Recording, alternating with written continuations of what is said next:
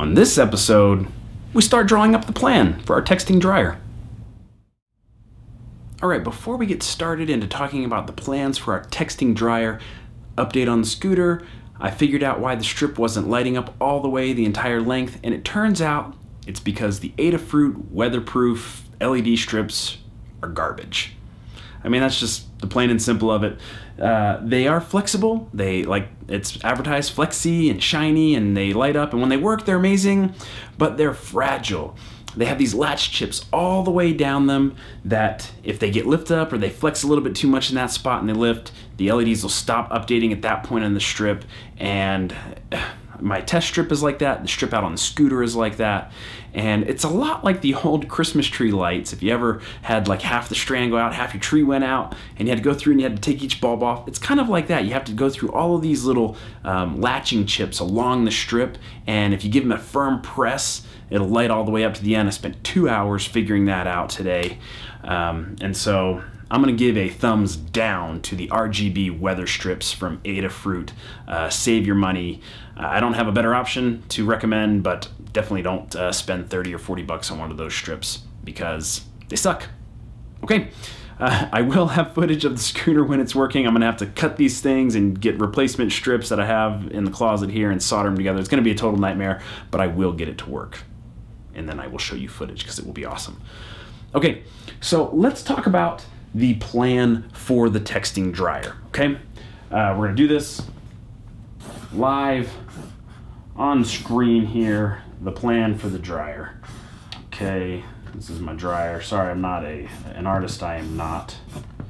Okay, there's the door, and I've got you know a knob and some controls here. Okay, so we have our dryer, and what we're gonna do is we're gonna see in here what we have as far as the buzzer. What's causing the buzzer? I, like I said, I think it's 12 volt. I'm going to confirm that in the next day or so. But what we're going to do is we're going to break this out. Something in the dryer here that we need to make. For right now, that's a question mark. I don't know what we're going to make. Okay? And then from there, like I said, I don't want to stick an entire platform in here. I don't want to stick a particle photon or Raspberry Pi or anything like that. I want it to just be able to talk to some other hub. And that's for a lot of reasons. I don't want this, I don't want my dryer to have to always be plugged in and turned on and sucking power. That seems wasteful. And so the other thing is, if I can connect my dryer to some hub or gateway in my house, I can connect other things to it, you know, future projects. So we've got this sort of hub thing we'll just call it the hub. That, I also don't know what that is. Um, we need to implement that. That's one of the other things we need to implement. And then the last part of this, I got markers galore down here, is we want this to come up to, oh, my blue's burnt out, come on.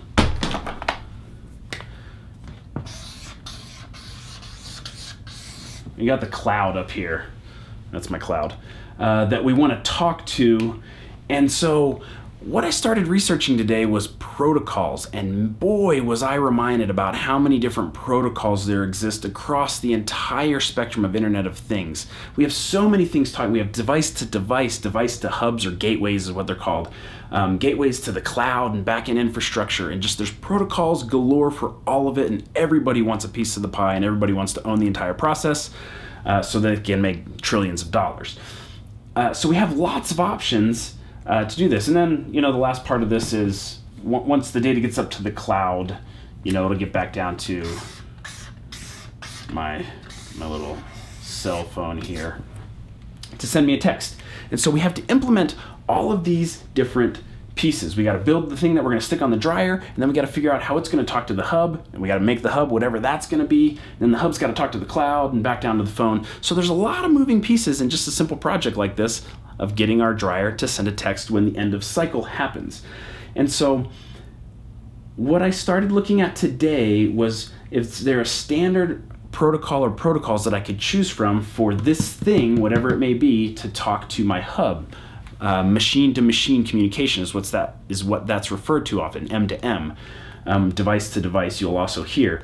And so as I was doing this I was reminded about all of the protocols. You've got MQTT, SMQTT, AMQP, COAP, XMPP, DDS, OPC UA, and that's just some. That's just the the communication session protocols. Then you've got wireless protocols that you can use. You can use things like Zigbee, regular old Wi-Fi, UDP, TCP that are built on top of Wi-Fi, HTTP, LoRaWAN, Z-Wave, uh, low power WAN, B- Bluetooth, BLE, Bluetooth Low Energy, which despite the name is nothing like Bluetooth. They're totally different. Um, and then you can layer protocols over top of other protocols, IPv6 on, over BLE. And so there's just a mess of things to choose from. And it's all about the trade offs and knowing a little bit about what all of those are good at and not good at and how you want to use them. And so I originally talked about MQTT as the thing I knew of, and I had also, the other one that I'd forgotten of that I'd heard of was OPCUA. But a lot of these protocols like MQTT use UDP, it's over UDP or TCP. And so I hate to have to have something that needs a full access to my network to be able to send a message from the from the dryer over to this hub. I don't want to have to because now I've got to draw a router in here that if it's down then the whole thing falls apart. And I don't want that dependency. And so that's why I am going to use that little chip just so I can learn more about it, that RFM 69 um, wireless chip so I can it's a transceiver. I can put it in here and it can talk to the hub here and they don't rely on any outside thing just that the two of them can talk to each other. And so that is the plan. What we're going to focus on right now is this communication from this device to this device.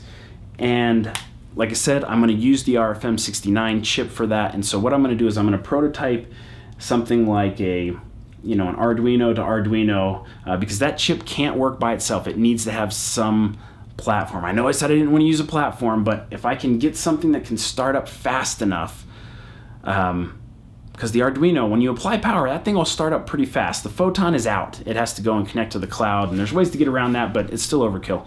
And so I've ordered a Pro Trinket from Adafruit. It's an Arduino compatible board that I'm hoping will have a fast enough startup that I can connect my transceiver chip to. This can be plugged in all the time, so I'm not worried about that. And so I'm going to test an RFM69 to RFM69. That's going to be in the next episode um, of Daily IoT is getting that communication up. But you can see as we, I'm to leave this, as we go through the next few episodes, we're going to build pieces of this out, starting, like I said, with the communication layer. We're not even going to build these devices yet, but we've got to get this it really only needs to be one way, so just narrow there.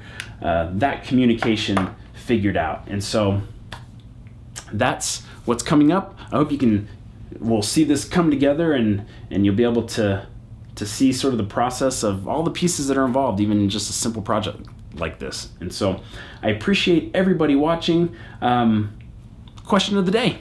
I almost forgot. Do you prefer a front load dryer or a top load? Dryer. Matter of fact, do they even have top load dryers? Check that. Washer. Do you prefer the, I think all dryers are front load. Uh, do you prefer the top load old school washing machine or the new front load fancy high efficiency? They come in high efficiency models, both top and front load. Which do you prefer, the top load or the front load? I appreciate everybody watching Daily IoT, the show where together we're learning how to make the Internet of Things one day at a time.